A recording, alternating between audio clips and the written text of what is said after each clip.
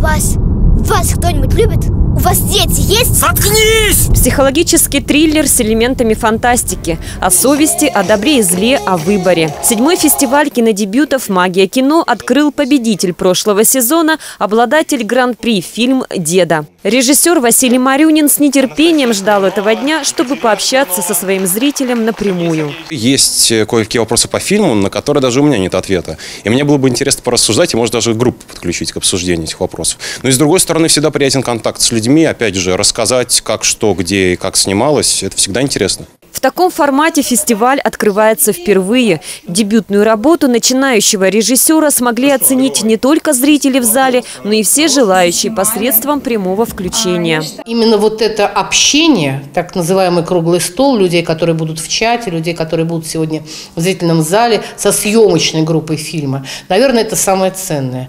Мы, такой опыт у нас э, существует сегодня впервые. И он, несомненно, удался. Вопросы буквально сыпались на съемочную съемочную группу. Как удалось настолько убедительно сыграть главную роль, маленький Миша и сам не знает. Все было в удовольствие, за одним исключением. Самое трудное было, это когда надо было сниматься, когда была температура минус 31.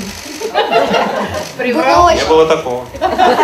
Было! В этом году заявки на участие принимаются вплоть до октября. Причем и от любителей, и от профессионалов. Люди, которые учатся, тоже имеют право проходить на наш конкурс э, совершенно спокойно. Но они в другой категории.